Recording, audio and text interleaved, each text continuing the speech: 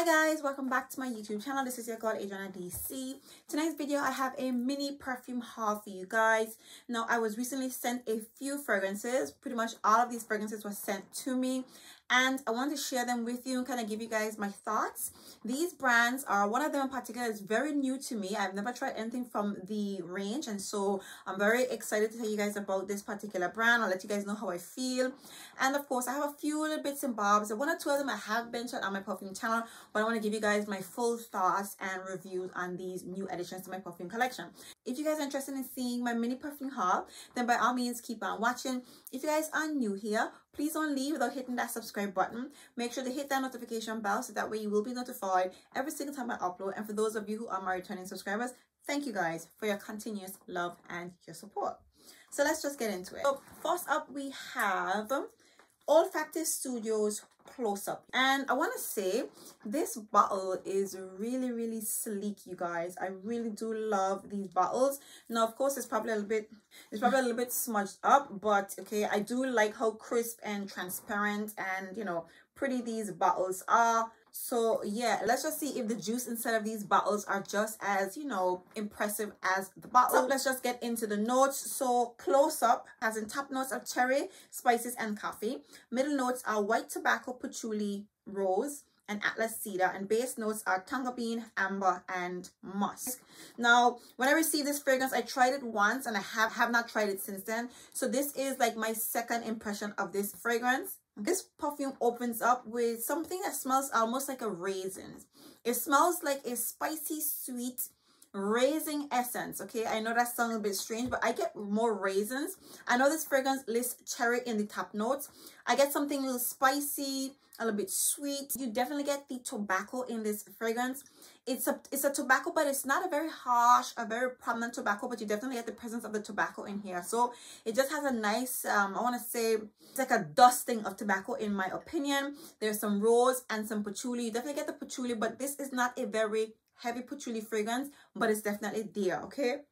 Beautiful perfume very interesting smelling because it's not like your traditional cherry scent it's not a very very cherry dominant fragrance even though it has the top notes of cherry.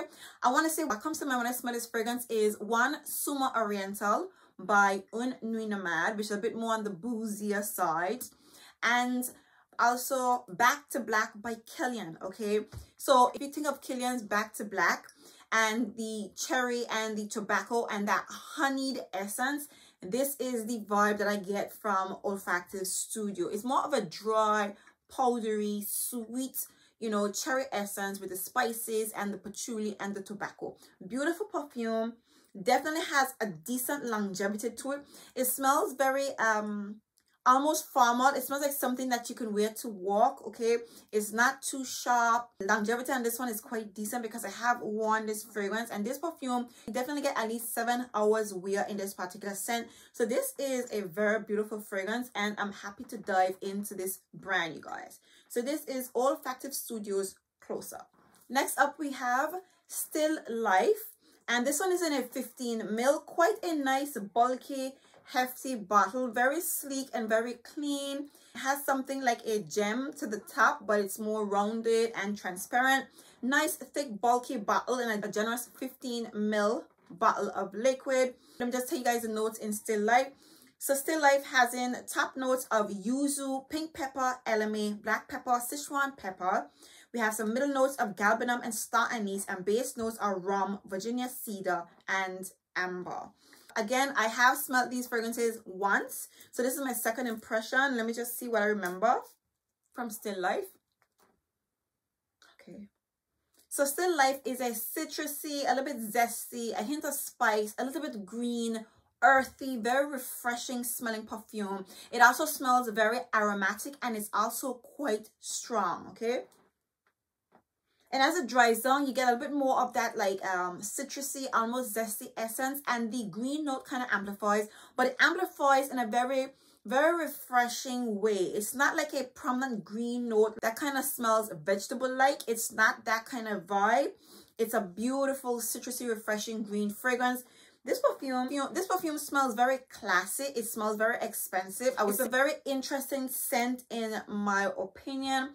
Where would I wear this perfume? I think this is an all year round type of fragrance, you guys. very beautiful perfume. This is a really beautiful smelling fragrance. There is a note that's heating up on the skin. I want to say probably it's the yuzu in this particular perfume. It's a beautiful perfume with a nice um base to it so it doesn't smell like just a you know a fresh or anything like that. This is quite a heavy fragrance that can be worn all year round now, I have not played around with this one, so I can't tell you guys about longevity, but I do definitely like this fragrance, and I can see myself pulling for this fragrance all year round. So this is Still Life by Olfactive Studio. Next up, we have Flashback.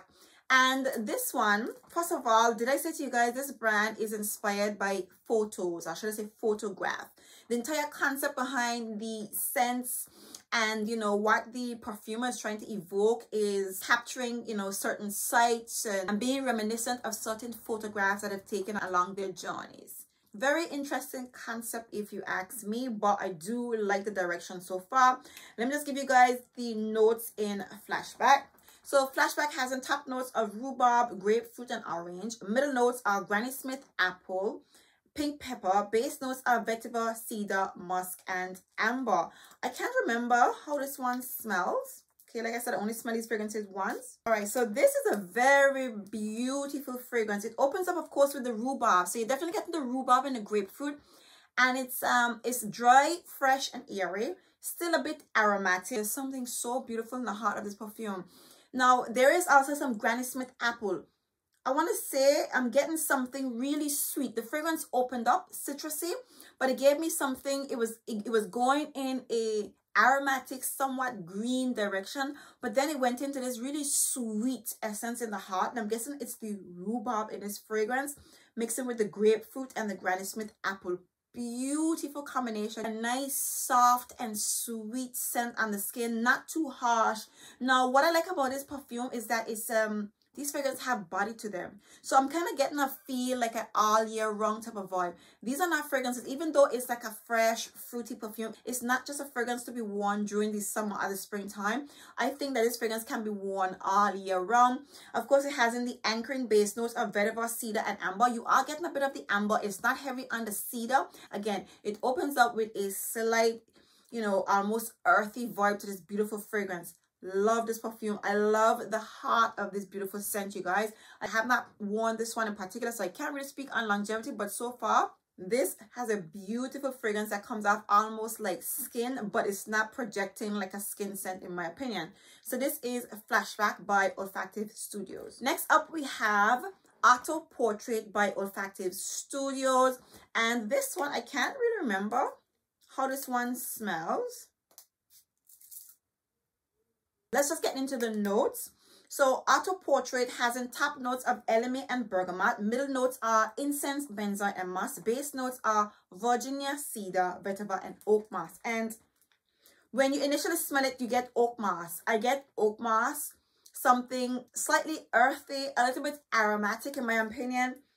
And I want to say you are getting a bit of the elemi in here. So, okay, this is a very interesting fragrance nothing's really jumping out at you is apart from the elemi and it's a very well-rounded and well-blended fragrance okay? Very interesting fragrance. This is quite a unique scent in my opinion. The closest to the vibe that this fragrance is giving me is the Un Jardin range from Hermes i'm getting you know those kind of vibes on this fragrance. That's how exotic smelling the this particular scent is and again, I'm getting a bit of the oak moss as this fragrance dries down. Very interesting smelling fragrance in my opinion. This one, again, I would still reserve it to be worn all year round. Yeah, very different fragrance in my opinion. So this is Auto Portrait by Olfactive Studio. Next up, we have Mula Mula Narcotique from Byron Parfums. And, oh, you guys, I am in love with this fragrance, okay? Now I have the Rouge Extreme and I didn't I didn't know what to expect from this one in particular. I mean a lot of people rave about this scent and said it smells like peachy and caramelly and sweet and all that good stuff and it definitely gives you that kind of you know peachy extra sweet caramelly vibe. But let's get into the notes. So mula mula nakat. From the Narcotique range it has in top notes of caramel peach strawberry and raspberry. Middle notes are ginger pink pepper labdanum. Base notes are vanilla musk agarwood and patchouli. And when you first spray this fragrance you get a sweet caramelly a little bit sticky strawberry essence You don't get a lot of the raspberries because I do find that raspberries are a little bit more rich and sweeter than strawberry, but I do get like a sticky, sweet caramel mixed with some strawberries. And, and I definitely get some labdanum with some vanilla and oud. I would say the oud in here is a little bit more prominent than the Rouge Extreme, but you are getting that labdanum base mixing with the patchouli and a light dose of sweetness from the vanilla. This one is a little bit more spectacular than the Rouge Extreme, you guys. So I definitely appreciate that. So for me, so far, I would say this is my favorite from Mula Mula. I have smelled quite a few other fragrances from the brand and I do like even the ones that aren't that well talked about. But yeah, Mula Mula Narcotique, I would say so far is my favorite from the brand. So this is Mula Mula Narcotique by Byron Parfums. Next up, we have Palo Santo by Carner Barcelona. And I have discussed this fragrance on my channel. I'm not quite sure if I discussed Mula Mula. I can't remember. But I definitely mentioned this one in particular uh, in one of my best discoveries of 2023. Because this perfume is a beautiful smelling fragrance. Let's just get into the notes. So Palo Santo has a top notes of rum and artemisia. Middle notes are milk, guaiac woods and tonka Base notes of vanilla, sandalwood, and vetiver. And this perfume is in the same vein or in a similar vein to commodity milk, okay?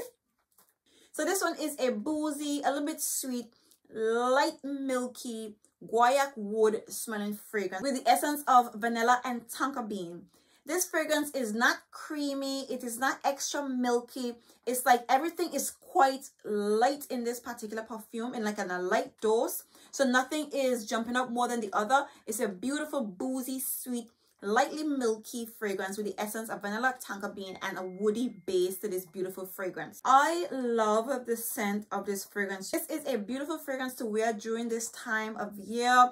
It's strong. It's a little bit punchy. Longevity is quite decent. And again, it dries down quite powdery with a slight woody base to it, keeping that, you know, that lightly sweetened essence to it.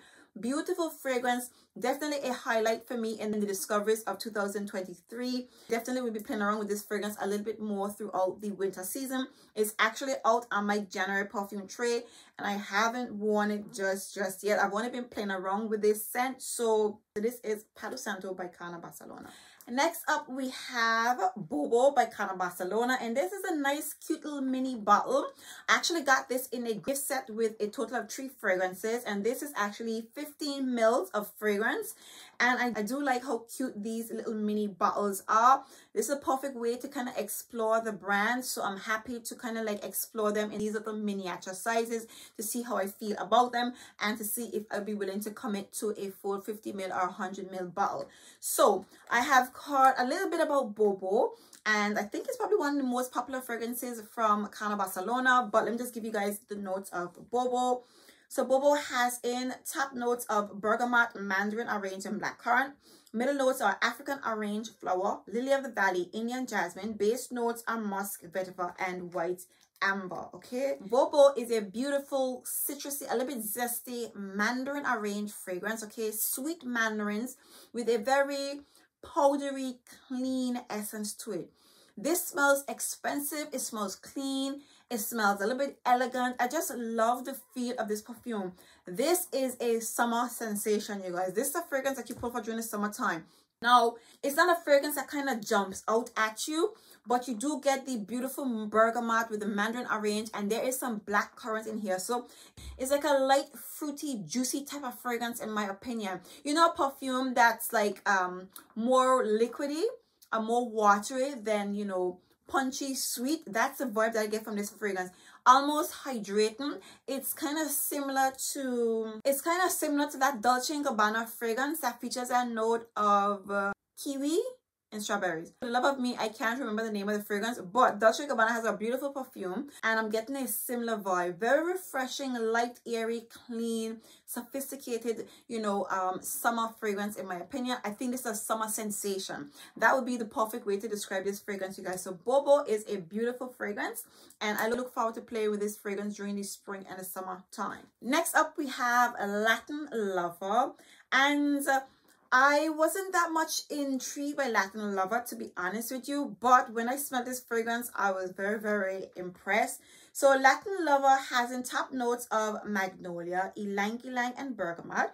Middle notes are lily of the valley, jasmine sambac, and French narcissus and violets. Base notes are white musk, benzoin, and Indonesian patchouli leaf. This is a beautiful white floral, creamy, sweet smelling fragrance with the essence of jasmine. You get a beautiful jasmine note mixed with that ylang ylang and the magnolia.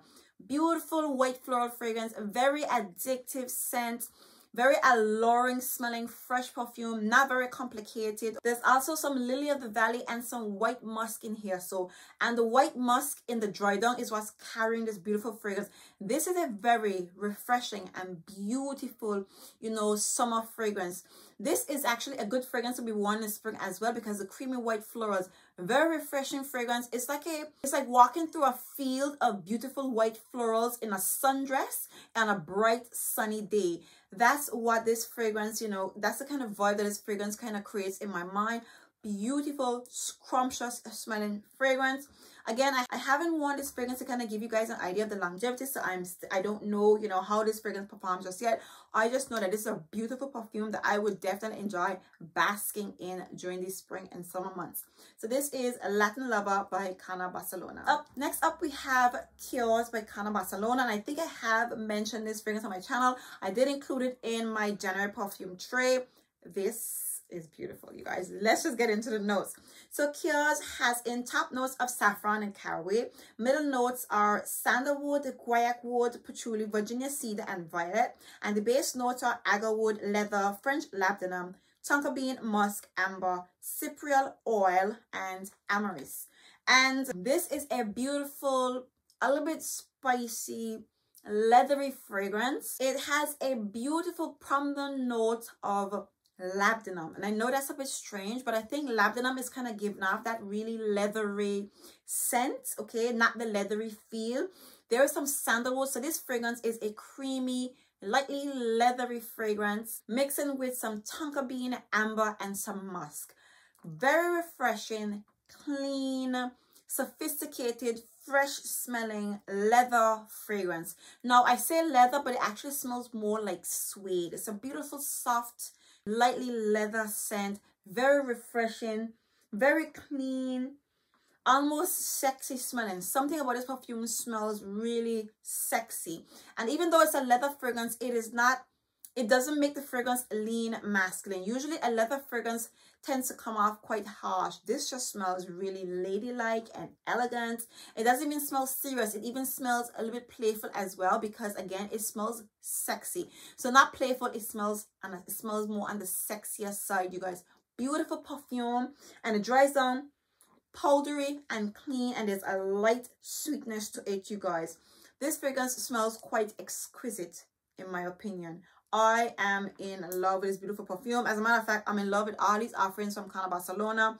But yes, this is a leather offering from the brand because I do find that the brand focuses more on like fresh, citrusy, white floral fragrances. But this is a beautiful blend, in my opinion, a beautiful take on a leather fragrance while keeping it very light and airy and refreshing. So this is Cuirs by Carner Barcelona all right and there you have it you guys. These are the newest fragrances added to my perfume collection. I do hope you guys enjoy this mini haul. I do love diving into different brands and exploring different fragrances so i hope you guys enjoyed this video. If in fact you did please give me a very big thumbs up. If you guys are new here please don't leave without hitting that subscribe button. Make sure to hit that notification bell so that way you will be notified every single time i upload. And for those of you who are my returning subscribers thank you guys for your continuous love and your support. And until next time, see you guys in my very next video. Bye.